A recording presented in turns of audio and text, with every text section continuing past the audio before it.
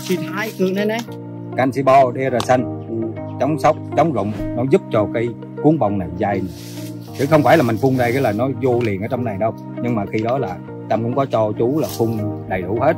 Có thể là ngoài lá cũng có Ngoài mà trong bông cũng xong dạ. là, là đúng rồi là- phủ lá phủ bông. Rồi lá của bông. Bây giờ cái cái liều này là hai, chỉ là phun bông. Hai là À. chủ tập trung vào bông này. Rồi dễ để cho nó tiết kiệm cho mình nữa. Cái bông này á khi mà bắt từ đầu mắt cua nhấm bắt đầu mà cái mắt cua nhớm á là như Sáng. vừa vừa rồi Dạ. khoảng vừa rồi thải hỏi á là chủ nói cái mắt cua mà nhớm là chủ đi đi chắc nước là chủ có bỏ một cái cổ đầu rồi nghe dạ là thì bây giờ là không chính xác được.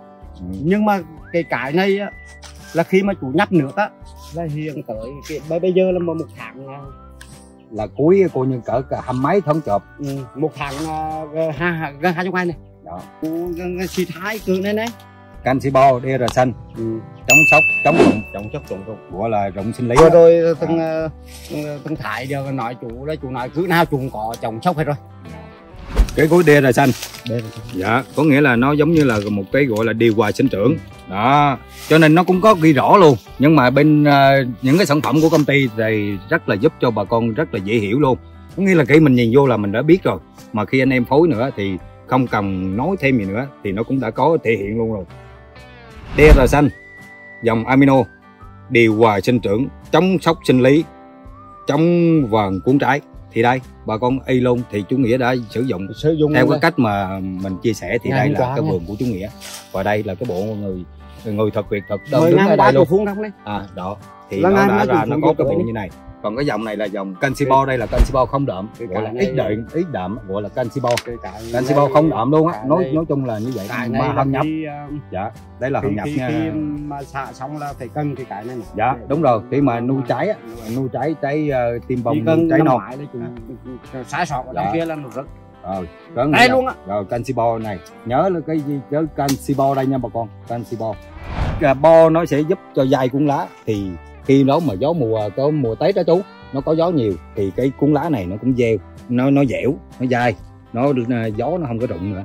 Và nó hấp thụ qua lá thì nó sẽ đưa vào trong thân cành cây. Nó giữ trong cái bo canxi bo. Nó giúp cho cái cuốn bông này dai nữa chứ không phải là mình phun đây cái là nó vô liền ở trong này đâu. Nhưng mà khi đó là Tâm cũng có cho chú là phun đầy đủ hết. Có thể là ngoài lá cũng có Ngoài mà trong thôi, bông cũng xong dạ. là, là đúng rồi giờ là phủ lá phủ bông. Phun rồi. lá của bông. Bây giờ Dạ. cái cái liều này là hai, và hai chỉ là phun bông. Hai là À. chủ tập trung vào bông này. Rồi dễ để cho nó tiết kiệm cho mình nữa. Một cự là vừa rồi là chủ có 6 ngày thôi. Đó nhưng sáu mà ngày là chủ dạ, chủ chủ chủ thấy cái tình hình nó gần gần xả rồi. Dạ. cho nên là mình phải đi tốc hành. Tốc À, hành để, tốc để hành. cho, có nghĩa cho nó chứ còn nó cũng tùy. Có thể là 7 ngày 5 ngày Ừ. thì nó rơi vào cái trường hợp đó thì chú cũng đã đã canh được cái thời gian và chú đã người trực tiếp làm vườn. Thì người đó là một cái kỹ sư mà còn à, chất lượng hơn mà anh em mà lâu lâu ngày đi à, xem rồi à, hỗ trợ cho chú. Và chú cũng đã tác động vào những cái à, việc làm của chú. Chú gửi qua nhóm rồi anh em à, của công ty ba tốt kỹ thuật ba tốt cũng vào nhóm mới xem.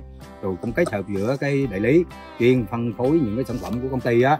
Thì đây là ở khu vực này của vùng chủ nghĩa là có đại lý bảo di thì rồi. bảo di cũng có cái à, quan tâm tới và nhất là các sản phẩm của ba tốt thì sẽ làm đúng theo hiện cái bộ quy trình thời điểm bây giờ Dạ. ấy năm này vụ vụ vụ này cụ thể là cái vụ này.